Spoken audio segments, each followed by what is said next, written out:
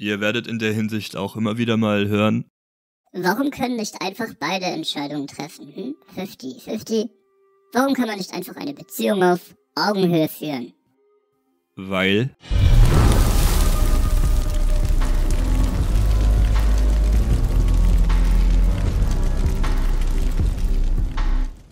Ich werde heute auf den psychologischen Aspekt eingehen, wieso feminine Frauen sich ganz automatisch dominante Männer suchen und wieso das auch sehr gesund ist für die Beziehung.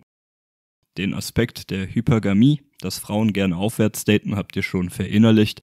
Heute werde ich eben ein wenig tiefer graben. Männer und Frauen haben hier in Deutschland dieselben Rechte. Es gibt viele Frauen, die es sehr weit gebracht haben auf der Karriereleiter.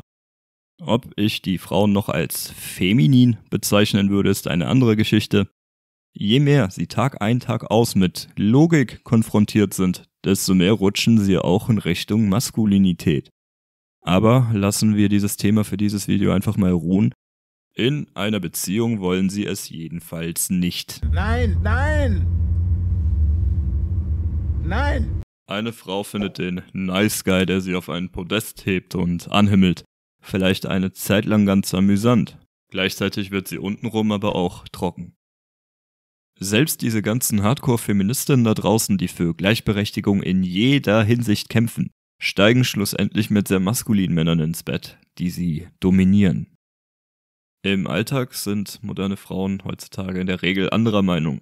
Du brauchst nur mal kurz auf die Straße gehen und einige Frauen mal danach fragen, ob sie lieber in einer Beziehung mit völliger Gleichstellung wären oder lieber mit einem Mann zusammen, der in ihren Augen eine Überstellung einnimmt.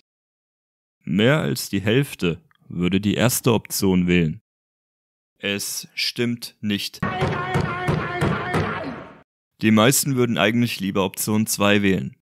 Sie wollen sowas aber nicht mehr aussprechen. Moderne Frauen sind in der Hinsicht kognitiv dissonant von dem, was sie wirklich wollen. Einerseits zeigt ihr Verhalten eben, dass es ihnen gut tut, sich einem Mann unterzuordnen, Andererseits wird ihnen schon von klein auf eingeredet, feminin zu sein wäre eine Schwäche. Was willst du? Was willst du? Nein, das ist nicht so Was? einfach. Was Es- willst du?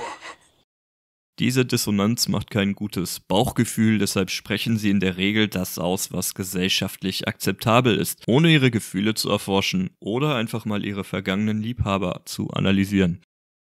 Aus dem Grund hat man in der Regel auf das Verhalten bei Frauen zu achten, anstatt auf das, was sie von sich geben.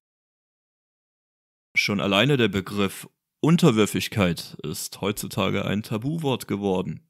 Nicht nur Frauen, sondern auch viele Männer fehlinterpretieren diesen Begriff.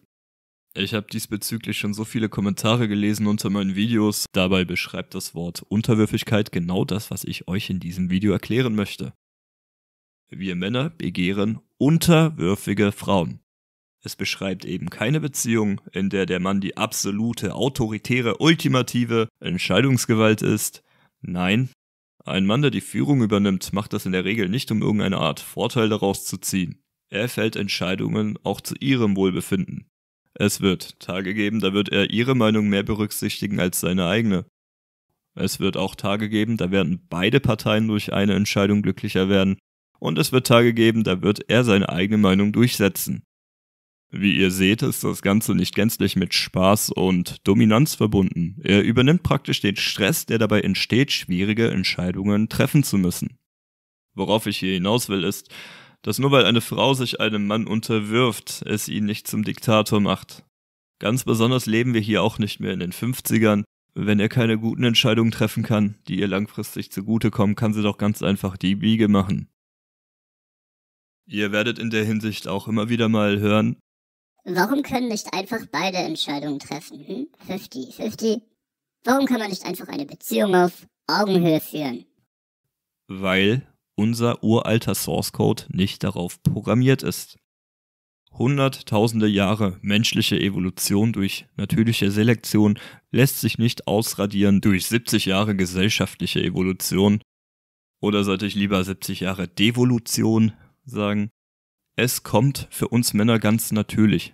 Wir sind im Kern darauf programmiert und Frauen sind es eben nicht. Dazu habe ich ein Video erstellt. Die weibliche Unterverantwortlichkeit oben rechts verlinkt. Das Überleben des Stärkeren, also Survival of the Fittest und The Burden of Performance, das sind Dinge, mit denen sich Männer jahrtausende lang herumschlagen mussten und auch heute noch herumschlagen müssen. Frauen mussten sich das nicht antun und sie müssen es sich heutzutage auch nicht antun. Ihr müsst eine Frau einfach mal erleben, die diesen Sprung schafft. Es schafft, diese kognitive Dissonanz diesbezüglich in sich aufzulösen. Sie kann sich anschließend in ihrer Feminität regelrecht suhlen, wenn sie sich einen Mann sucht, der diesen unangenehmen Part für sie übernimmt, weil es für ihn eben auch einfacher ist. Denn eine Sache musst du als Mann unbedingt begriffen haben. Jeder Mensch ist seines Glückes Schmied. Du kannst ihr lediglich dabei helfen, ihre Rolle in der Beziehung zu finden, sodass sie es leichter hat. Alles andere liegt bei ihr. Ist das klar? Zu Befehl, Drill Sergeant! Wenn ein Mann führt, kann ein Paar glücklich werden. Wenn eine Frau führt, dann sind beide unglücklich. Sie übernimmt damit nämlich eine Rolle, die ihr nicht in die Wiege gelegt wurde, Gleichzeitig kann er aber nicht seine eigentliche Rolle erfüllen. Ein weiteres Problem ist auch die Verweichlichung der Männer.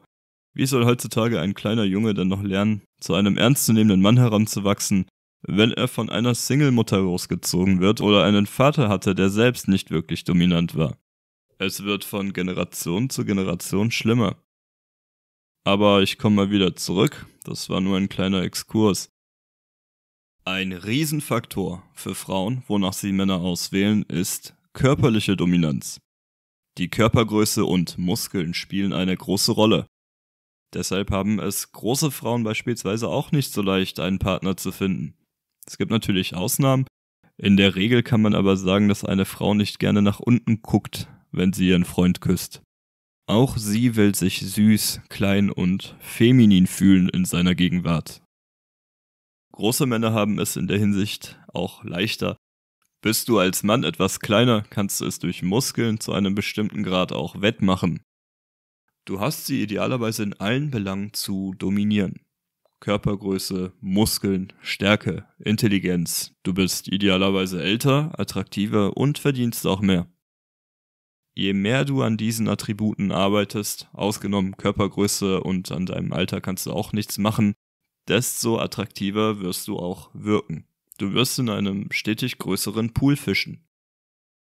Frauen haben eben auch unterschiedliche Vorlieben. Es gibt sogar Frauen, die legen nur Wert auf Intelligenz. Um mal auf den psychologischen Aspekt dahinter einzugehen. Warum lieben Frauen Männer, die ihnen überlegen sind? Die kurze Antwort ist, sie wollen sich sicher fühlen. Frauen lassen auf Instinkte in der Regel Emotionen folgen, dann erst Logik. Das macht sie chaotisch. Männer hingegen lassen auf Instinkte in der Regel Logik folgen, dann erst Emotionen. Das sorgt für Ordnung. Sie sucht instinktiv Ordnung, um sich vor dem Chaos da draußen und sich auch vor dem Chaos, der in ihr selbst ruht, zu beschützen. Bist du körperlich stark und groß, kannst du sie vor Fremden beschützen, bist du finanziell gut aufgestellt? Kannst du sie vor Hunger und Obdachlosigkeit beschützen? Bist du intelligent? Kannst du sie auch emotional unterstützen? Du bist dann eben nicht mehr leicht zu manipulieren und das wiederum schützt sie vor sich selbst und auch vor negativen Einflüssen anderer Menschen auf sie. Wie ihr ganz offensichtlich erkennt, lieben Frauen opportunistisch. Je mehr du von Nutzen bist, desto stärker ist eventuell auch ihre Bindung zu dir. Sie ist eine Überlebenskünstlerin. Männer und Frauen sind gänzlich unterschiedlich. Männer streben in der Regel nach Freiheit, Frauen streben in der Regel nach Sicherheit. Eine Frau ist von Natur aus sehr chaotisch. Entsprechend ist es nur natürlich, sich einen Mann zu suchen, bei dem sie sich sicher fühlen kann. Sie braucht jemanden, der ihre Laune und Manipulationen auch erkennt das wirst du relativ zeitnah merken, wenn du mal lernst, klare Grenzen zu setzen. Du wirst merken, dass sie sich fügen wird. Es ist immer ziemlich amüsant mit anzusehen, wenn eine Frau überemotional reagiert und sie aufnimmt, wie der Mann ihren inneren Chaos erkennt und sie sich dadurch auch wieder stabilisiert. Hat sie in ihren Augen einen Mann gefunden, zu dem sie aufschauen kann, dann wird eine feminine Frau auch ganz automatisch unterwürfig ihm gegenüber.